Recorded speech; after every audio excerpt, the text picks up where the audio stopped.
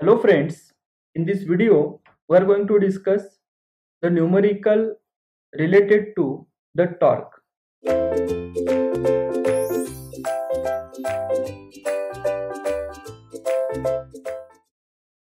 Let us read the question.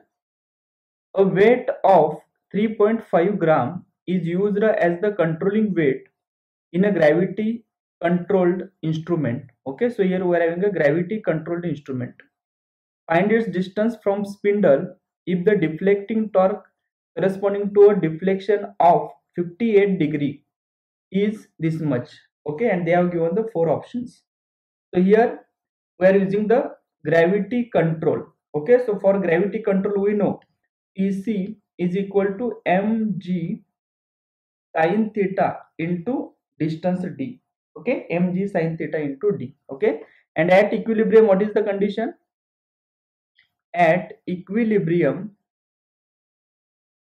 we know Tc is equal to Td.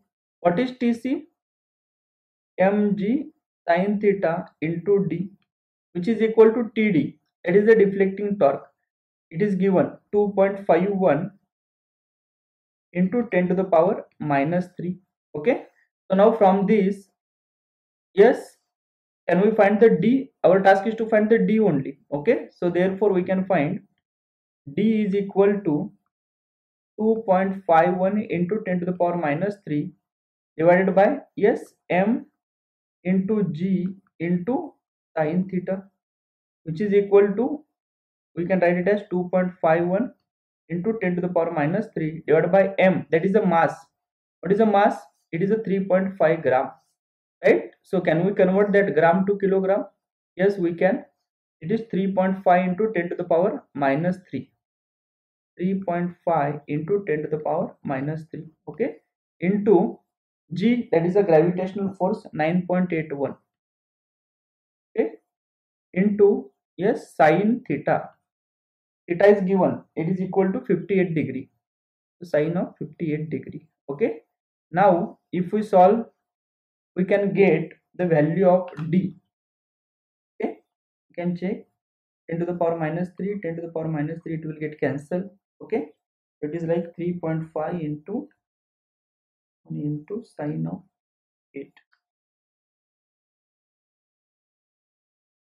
it is 86.2 millimeter. Okay?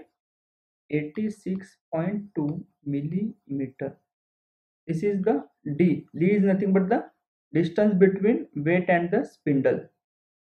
Right this is what they have asked okay? So 86.2 millimeter. So correct option is option d. Okay? So this is about the